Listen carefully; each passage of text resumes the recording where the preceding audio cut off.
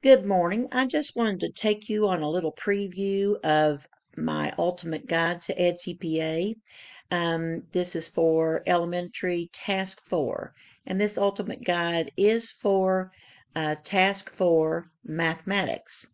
Uh, like my other ultimate guides, I call them the ultimate because they have links to everything that you need.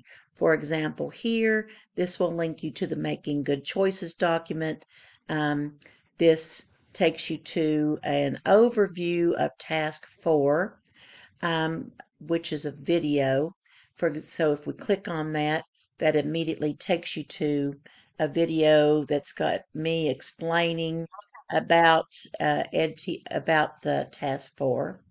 Um, then you have also uh, for each, it has step-by-step -step instructions for completing this task and then directions for completing those artifacts.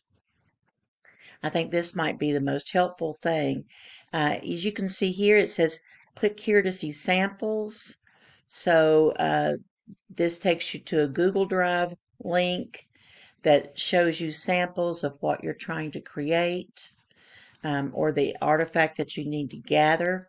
Uh, that can be very beneficial to you. Um, so just step by steps for completing the guide all the way through.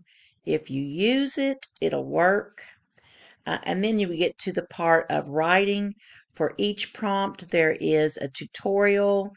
There's a sample, as you can see here, um, how to make the graphs, everything you possibly need to create uh, this uh, task four. Good luck!